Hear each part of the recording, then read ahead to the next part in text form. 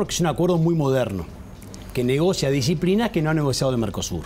No tanto aranceles, porque ya tenemos acuerdos comerciales con los cuatro miembros de la Alianza del Pacífico, pero sí lo que ha logrado el protocolo adicional de la Alianza del Pacífico aprobado en 2014 es avanzar en nuevas disciplinas comerciales que Uruguay no tiene negociadas con el Mercosur, pero que sí se han negociado en el mundo desde tiempo atrás, que favorecen la captación de inversiones, que favorecen normas un poquito más modernas en contratación pública, también en servicios, donde Uruguay tiene oportunidades de avanzar. Y no hemos podido porque el Mercosur lamentablemente no ha logrado desarrollar una agenda dinámica en este sentido, tampoco en la agenda clásica porque todavía siguen restricciones arancelarias, pero al Mercosur no tener una agenda internacional muy activa, lo que ocurre es que no ha incorporado las normas que en el mundo ya se vienen negociando un tiempo atrás. La Alianza del Pacífico está integrada por Chile, Perú, Colombia y México, pero además hay 52 países observadores. ¿Qué significa esto, Ignacio? Eso es interesante porque ha captado mucho la atención internacional la Alianza del Pacífico por ser, como decíamos, un acuerdo bastante moderno. Entonces, se juntaron 52 países observadores y la Alianza empezó a cuestionarse qué hacer con esos países observadores.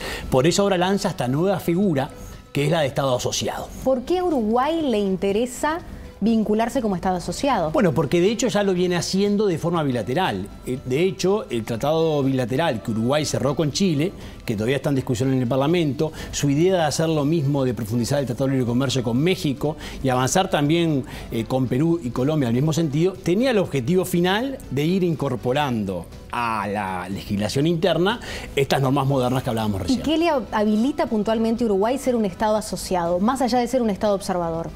Le podría habilitar algo muy interesante, Marina, que es poder insertarse en la agenda externa de la Alianza del Pacífico. Y esto es relevante en Asia-Pacífico, que sigue siendo la zona más dinámica a nivel internacional, en crecimiento, en acuerdos comerciales. Entonces, como esta nueva figura permite que el bloque negocie en conjunto con otros países tratados de libre comercio, podría perfectamente Uruguay beneficiarse de ingresar como Estado asociado a los acuerdos que, por ejemplo, cierre toda la alianza con el sudeste asiático o toda la alianza con algunas economías asiáticas.